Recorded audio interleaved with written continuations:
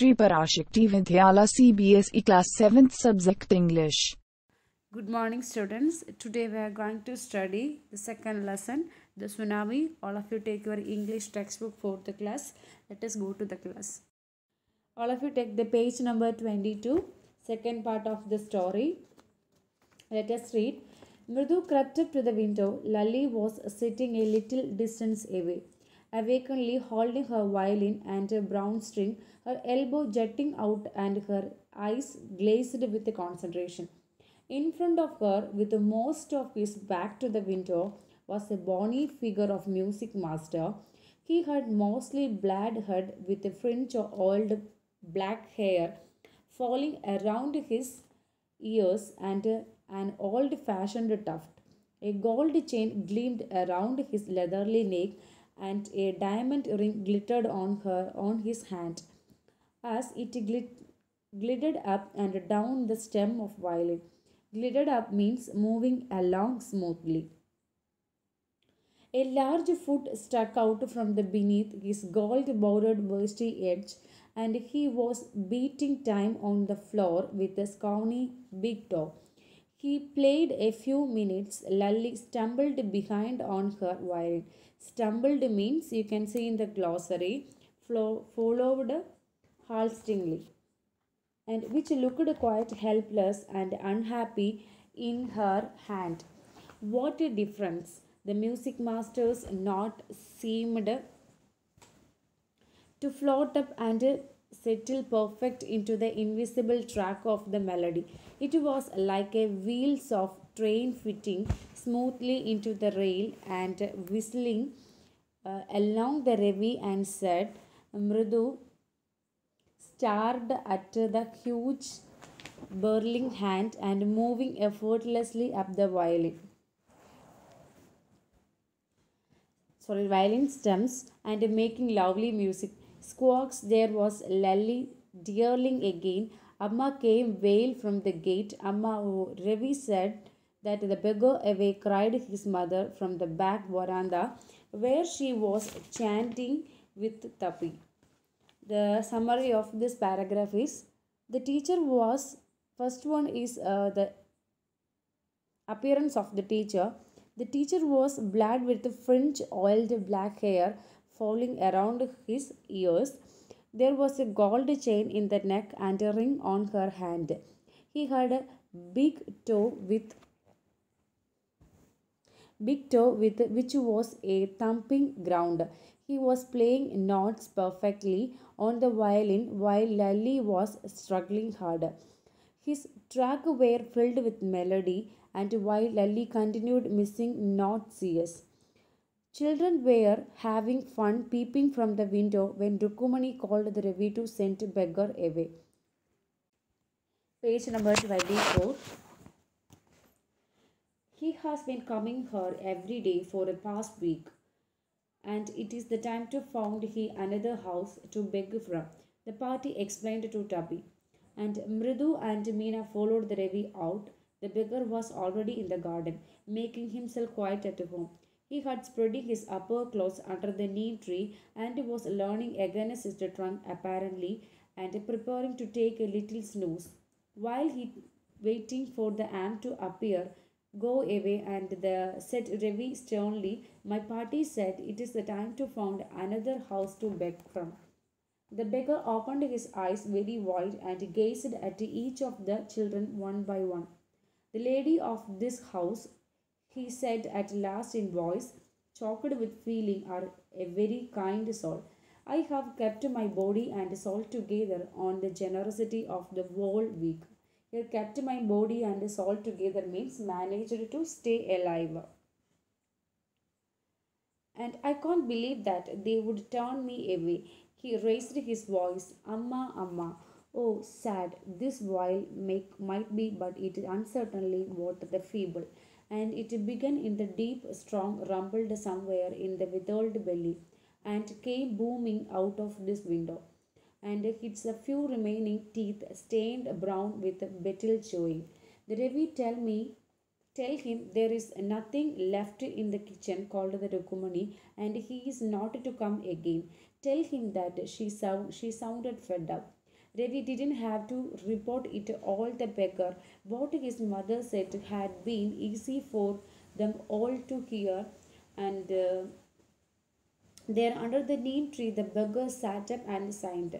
I will go, I will go, he said wearily. Only let me have a rest here under this tree. The sun is so hot. The tar has melted on the road. My feet are already blistered. He stretched out his beat, sorry, he stretched out his feet to show large pink peeping sorry, peeling blistered in the sole for the bare feet. I supposed I didn't have have the money to buy chappals. Mridu whis- whispered to Meena Ravi, Have you got an old chap old pair in the house somewhere? I don't know, said Ravi. Mine are too small or fit to this feet. I had have given them to him, and his feet were larger than Mridu and Meena. The beggar was shaking out of his upper cloth and tightening her dhoti. He raised his eyes and looking fearfully at the road and gleaming in the afternoon heat. He needed something on his feet. Meena said, her big eyes filling with its knot said, "Hush," said Ravi. I am thinking about it, bluffering with the it is not fair, it is not fair, it is going to help. In two minutes, he will be frying his feet on that rod. What he needed is to fare of the chappals. So, where do we get them? Come, let me search the house. And he pushed the Mridu and Meena into the house just as she stepped in the veranda. Mridu eyes fell on the odd looked chappals and she had noticed when she arrived at the. And she whispered to him, What are those? Ravi turned the glazed at the shabby, sorry, shabby looking but sternly old slippers. He beaming the nodded and there are just right size. He said the picking up picking them up Mridu and Meena followed him nervously back into the garden. Summary of this summary of this paragraph is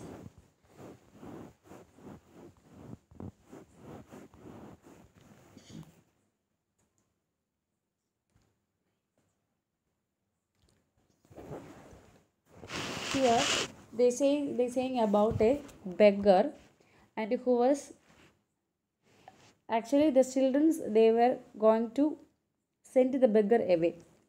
She was fed up with the beggar coming to this place for a week. Now and he wanted to find another house.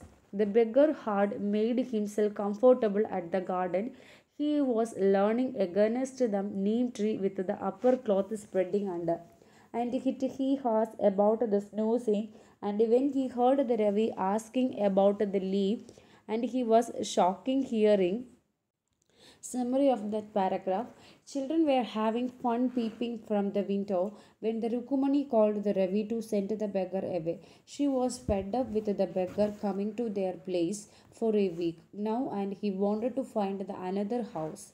The beggar had made himself comfortable at the garden he was learning against the neem tree sorry leaning against the neem tree with his upper cloth spread under it and he was about to snooze when he heard the Ravi ask him to leave. He was shocking, shocking to hear that news.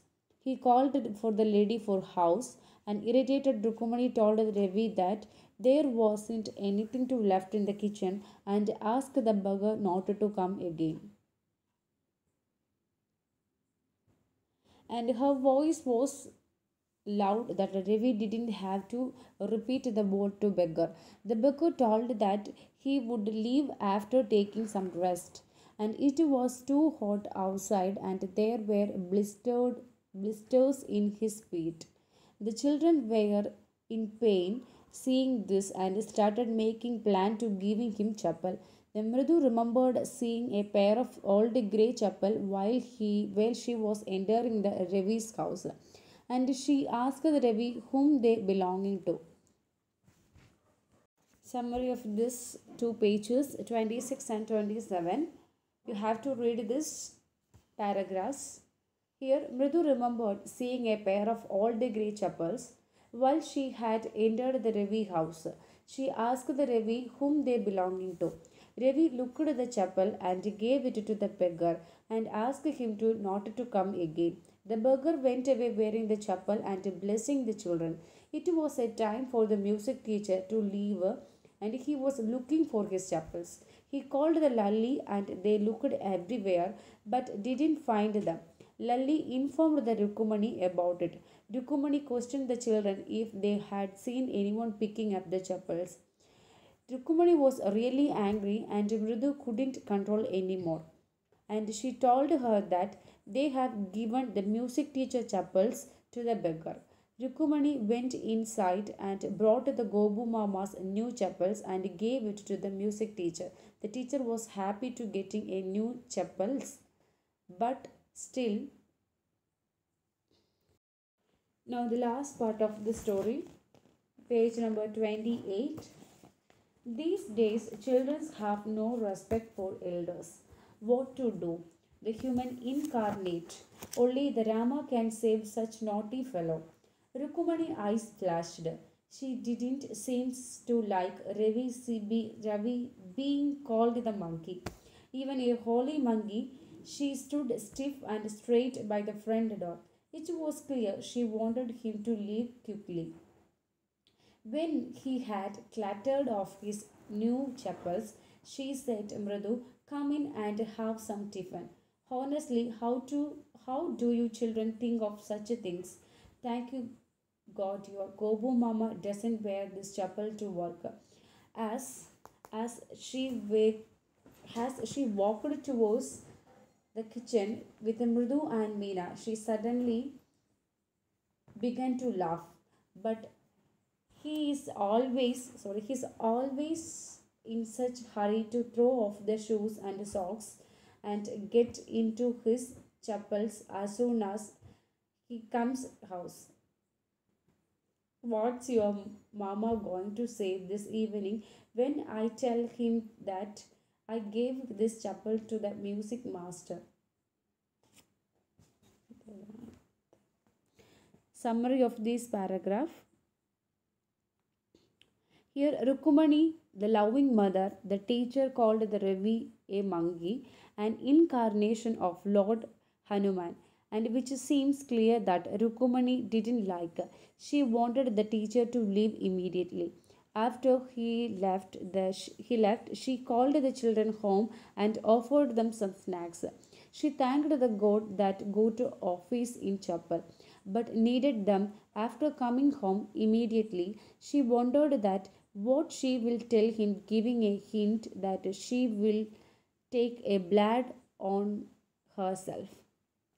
Students, this is the story. You have to read this story. This is very simply and uh, simple story. You have to read this one.